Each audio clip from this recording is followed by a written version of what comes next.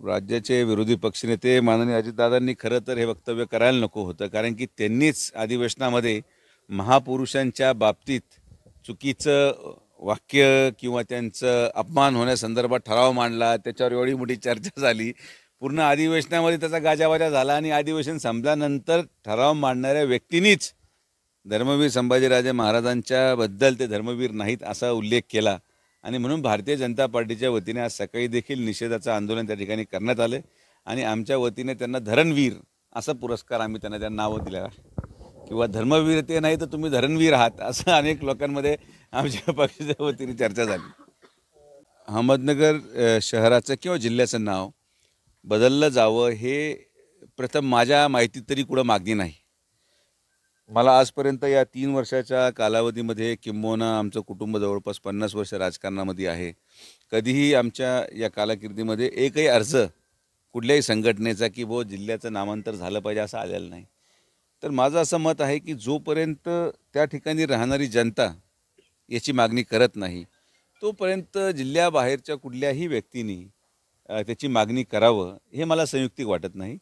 जो व्यक्ती भूमिपुत्र आहे जो या जिल्ह्याचा नागरिक आहे तो कुठल्याही समाजाचा असो कुठल्याही पक्षाचा असो त्याच्या माध्यमातून जिल्ह्याचं नामकरण किंवा नामांतर व्हावं तर त्या गोष्टीला जस्टिफिकेशन आहे.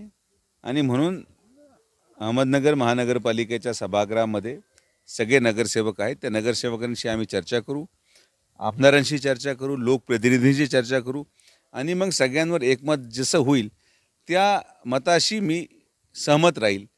पक्ष म्हणून नाही पण या जिल्ह्याचा खासदार म्हणून आणि एक नागरिक म्हणून जी काय भावना जनमानसाची असेल त्याच्याबरोबर मी ठामपणे उभं राहील. नाही मला असं वाटतं की आदरणीय प्रधानमंत्री नरेंद्र मोदींच्या संकल्पनेतून भ्रष्टाचार मुक्त भारत या दृष्टिकोनातून तो पहिला पाऊल नोटबंदीचा होता.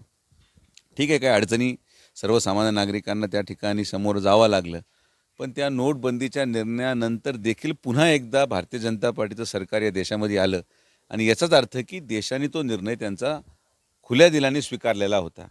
पण काही ठराविक लोक ज्यांचं आर्थिक नुकसान मोठ्या प्रमाणात झालं ज्यांनी पैसे स्टॉक करून ठेवले होते निवडणुकींसाठी त्यांना त्याचं दुःख प्रचंड झालं ते पैसे खपवा लागले जाळावं लागले आणि त्यामुळं त्या वेगळ्या मानसिकतेतून कोर्टामध्ये काही ठराविक लोक पाठवण्यात आले. पण माननीय उच्च सर्वोच्च न्यायालयाने त्याच्या बाबतीत निकाल दिला सकारात्मक दिला आणि शासनाच्या निर्णयाचा पाठिंबा दिला. याचा अर्थ की आता त्या विषयावर पडदा पडेल आणि आता विरोधकांना देखील कुठला तरी नवा विषय आता शोधायची आवश्यकता आहे. ज्या गोष्टी जुन्या झाल्या आहेत ज्याच्यावर निवडणुका झाल्या आहेत त्यावर वारंवार चर्चा करणं मला वाटतं संयुक्तिक नाही. एबीपी माझा. उघडा डोळे बघा नीट.